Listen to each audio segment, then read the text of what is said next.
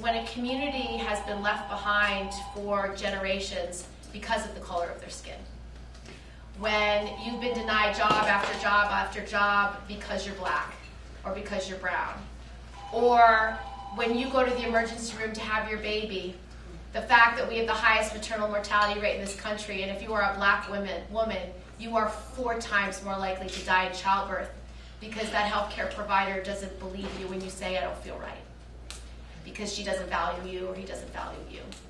So institutional racism is real. It doesn't take away your pain or your suffering, it's just a different issue.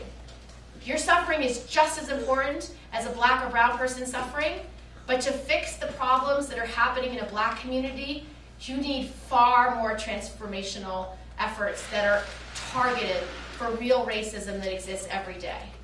So if your son is 15 years old and smokes pot, he smokes pot just as much as the black boy in his neighborhood and the Latino boy in his neighborhood. But that black and brown boy is four times more likely to be arrested. And when he's arrested, that um, criminal justice system might require him to pay bail, 500 bucks. That kid does not have 500 bucks. He might not be able to make bail. If it's an adult with a child at home and he's a single parent, if he's thrown in jail, no one is with his child.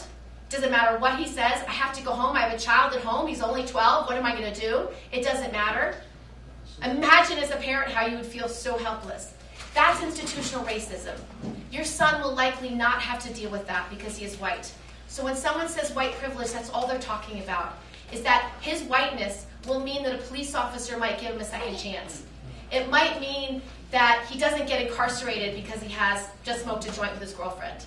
It might mean that he won't have to post, post bail. It means he might be able to show up to work the next day and not lose his job and not be in the cycle of poverty that never ends. That's all it is.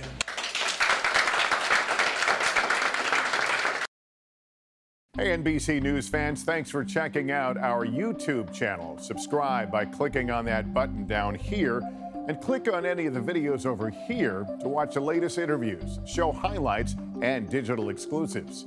Thanks for watching.